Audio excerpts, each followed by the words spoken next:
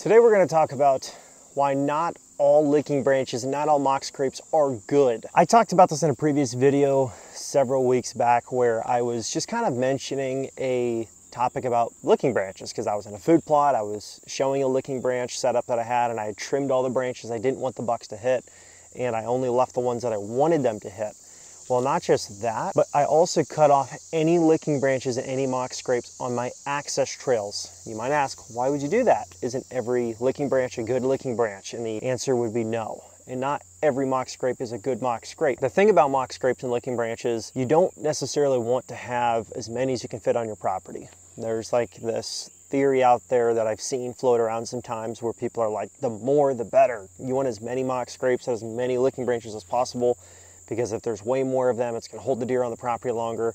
It's gonna be awesome. I do agree with that within your food plots that you have shots to them or within your food plots where you know it is en route to give you a shot opportunity or if it's in an area that is within like the heart of your property leading to or from a again a destination where you're going to be killing those deer obviously they'll make scrapes and they'll use licking branches throughout the properties in different areas that you did not create but and they'll just find natural vines and stuff. They'll just find natural things to, to use and make them. Um, but I'm talking about the ones that you have the ability to influence. It's just very crucial to understand what you're dealing with to make sure you get rid of the ones that you don't want and to enhance the opportunities of them that you do have. For example, I'm gonna go into the number one problem that I see with mock scrapes and licking branches is access trails. So I've got an access trail right behind me here and you can't see the whole thing, but it goes all the way up through. I've got a screen planted and it's between a tree line and a big screen.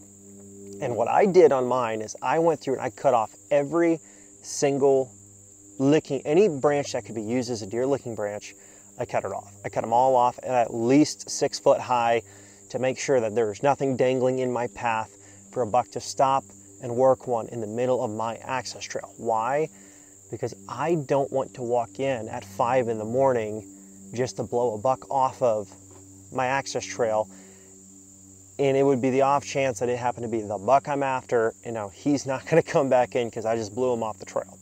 Okay, I don't want that. And I also don't want him to potentially get a pattern of hitting a mock scrape that's on an access trail. If he's going to cross that trail, I'd rather him just get across the access trail and leave. I don't want him paralleling that trail to go down and hit a whole line of mock scrapes or licking branches that are on my access because even if I don't bump him and he visually sees me, he will hit that again at night when I'm not there and he will smell that I was there. And it can just lead to a bad combination of things between smell and possible sight. All around, you just do not want them on your access trails. And yes, I have, you know, heard this many times, even friends, people that I hunt with, people that they're they're great, they're great deer hunters. They kill a lot of deer, they have a lot of fun. But I was just actually, I was just with a couple of guys. We were out of state and I was doing some food plot work with them. No dogging on these guys. They are the most fun people in the world to hang out with. But we were walking on an access trail that we had to use to get to a stand. And there's like a perfect, there's like this perfect licking branch that's like, I don't know, mid like chest high, not quite shoulder high, about chest high. It was like perfect height, like textbook, like that thing's gonna get smoked. It was the only one in the trail, right in the middle of the trail hanging low. And he's like, man, he's like, that is just perfect. Like, I'm to leave that there. Man, I'd love it if a buck came through and made a pattern to hit this thing right outside of this food plot. Keep in mind, we're still about 40, 50 yards away from the food plot, about 60 yards away from the tree stand in the food plot, and it's on the only access trail to get to the tree stand leading up to the corner of that food plot. I didn't say anything because, you know, I didn't want to hurt the guy's feelings or act like, oh, I know better and I know this and that. That's a bad idea. You should cut it off because it's a property that everybody kind of shares and they all hunt it together as, as just have fun, just as an extra place to hunt. So it's not a big deal. Moral of the story is what I'm thinking when I see that is, holy smoke, somebody's got to cut that off because it, it, it is a perfect mock scrape location. It's on an access road. It's right outside of a food plot, 50, 60 yards. It's on the downwind side where a buck would want to circle that way and hit that thing. And it's just a bad combination because now you're encouraging that deer to go behind your stand where your wind is blowing down your access to try to get to that thing when the reality is you want to keep them and create them within the food plot, preferably on the side of the food plot you're going to be able to hunt and get shots to and you want to cut down anything that's on that access trail because you're going to create opportunities for that deer to bust you or several deer to bust you and it's just not something you want to have happen. Now let's talk about mock scrapes and licking branches inside of food plots. I'm gonna get out of the sun just a little bit more here. So in my food plots, I have made it my decision to legitimately go through and cut down every mock scrape branch, every licking branch that is going to be in a location that is going to hinder my ability to get a shot on a deer. I don't necessarily want 25 mock scrapes in my food plot. Um, a, the deer aren't gonna hit all of them anyway and B, because if I've got one that's 50 yards away in the back corner and it's sitting behind a big shrub or a big bush, a big tree that I can't get a shot to, I don't necessarily want a buck standing over there for 30 to 60 seconds working that thing.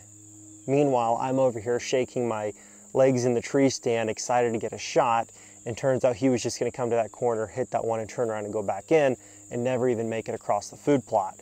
Meanwhile, had I just cut that branch off and the only other one that he could hit was 10 yards closer around the other side of that bush, I could have gotten a shot at him at, you know, whatever it is, 35 yards and could have killed him. Those are situations too where if, if you see my food plot here, you'll notice there is a tree. It was a very odd shaped shrubby tree. And I cut off all the licking branches on the back side of this thing because it was just outside of the bow range that I like to hunt and take shots at. All of the licking branches on the back side of that thing were all just outside of the distance that I comfortably like to take shots at. Not to mention, when a buck is working that thing, I'm not going to be able to see him. I'm not going to be able to get a shot, and he's certainly not going to be broadside. He's going to be facing me head on.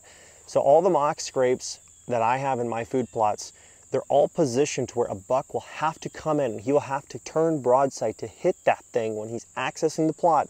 They're situated in a way that he has to come in, he has to turn, to give me that broadside or slightly quartering away shot if he wants to work that thing.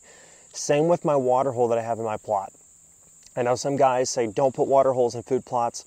I disagree with that. I just believe that it's circumstantial in that if you have no structure in your food plot and if your food plot is vast and open, probably not a good idea. But mine is tucked very close to cover and I specifically leave patchy planted corn in this plot to give it some structure and some feel that there's security in the plot as a like transition zone to go from this like sparsely planted corn and turnip plot that transitions over to a bean and brassica plot up a little bit further but this is a great spot for him to hit that if he's just coming out of the woods 30 yards to hit that water hole hit a mock scrape and go back in if he wants to, that's fine. At least it gives me the opportunity. And when I put that water hole in, he uses it like crazy. But the moral of the story is I position it to give me shots. And with all the mock scrapes that I have in my food plots, you know, it's not like you can just put one mock scrape and just be like, oh, if I put that, that's the only one these deer are gonna hit. Although a lot of times if it's the only one in the food plot, that is what they're gonna hit. But I like to give them multiple options within bow range from different types of tree species if they're available. But I just like to give them the ability to feel like they're naturally picking the one that works best for them and the way they want to use the plot. But at the end of the day, if there's a mock scrape in my food plot, it's because I have a shot to it, and that's why I'm leaving it there. But anything that gives me no shot opportunities, anything that gives the deer the opportunity to come in, hit it, and leave and not get shot, or come in, have it facing me head on when he's coming out of the woods, and there's a good chance he's gonna spook because he could see me as I'm trying to get ready for my shot. I don't have those. I make sure that all the mock scrapes that I have, bring those deer in and position them to where I can get a shot at them. And those are the kind of mock scrape opportunities that I like to present in my food plots. But moral of the story, the biggest mistake I see with mock scrapes, from my own experience and the own, ooh, I don't think I would do that situations, is access trail mock scrapes. They're on the trail you gotta walk in you know for a fact you're going to take a chance at spooking a deer off it, whether he sees you, he smells you, he comes by and gets your scent trail after, or you give him the opportunity to where now he found so many mock scrapes on your trail that he wants to like he wants to work mock scrapes on your access road. It's just a bad combination. It's not the worst thing in the world if you have a mock scrape in a food plot that you can't get a shot to. If he's not to spook and it's just a mock scrape that you for some reason want to leave in a location you can't get a shot to, but you just like it in the food plot, as long as you're not spooking any deer, you're not necessarily hurting the situation, but you're hurting your odds of actually getting a shot at the deer if all your mock scrapes are in a location you can't actually get a shot to, especially since it's such a powerful tool and opportunity to bring those deer in and manipulate the food plot structure a little bit. I personally just don't see why you wouldn't want to try to have one within bow range that you can have a little more control over the situation. And if you don't have one in your food plot, you can add one to your food plot by simply taking a 24 inch auger with a 4 inch diameter, getting yourself a hole, cutting a small sapling, dropping it down in there, pack it tight, and next thing you know, you've got your own rubbing post and licking branch mock scrape location right in the middle of your food plot, right in bow range where you want it. Hopefully that helps you guys, especially since right now is kind of your last minute opportunity to where if you do have mock scrapes on your access trails, get rid of them, okay? You don't want them on the trail you have to take to your stand, especially if you are specifically trying to target highest quality of bucks in your area. Um, you are going to spook deer when you leave them on your access trails. Um, so if that is at all important to you, I would recommend you remove those. And I'll try to show you guys some examples throughout this video here as I'm talking about it. We do have some pretty good content here coming up soon. I'm gonna be taking this channel to an extreme level this season. I'm gonna be posting and producing lots of filmed hunts. Filmed hunts with me, my wife, probably with my son, might be getting him out for the first time this year. He's four, so we're gonna, we'll see how it goes. I might take him on a couple experimental sits and see how that goes. I'm um, to be hunting with my brother in Tennessee soon for velvet season. To be hunting with my dad quite a bit. Some buddies out of state, different parts of the country. It's to be awesome. So if you guys want to see those hunts being produced and put out there, that is to be happening this season. We have filmed hunts in the past, but never like at a dedicated level where I am going to dedicate myself to filming and producing hunts and also producing strategy content throughout the season, which this time I'm going to be doing. And I'm going to be going through it in several different states. We're going to be hunting New York, Pennsylvania, Ohio, Indiana, Tennessee, South Carolina. We're going to be hunting a lot and we're going to be producing a lot of content legitimately as a full-time gig. Let's get going on it. Season's almost here. For those of you that open up in August for some velvet seasons, uh, pretty pretty exciting, pretty crazy stuff. Hopefully you guys have some success. I know we're going to be trying our best here in Tennessee soon.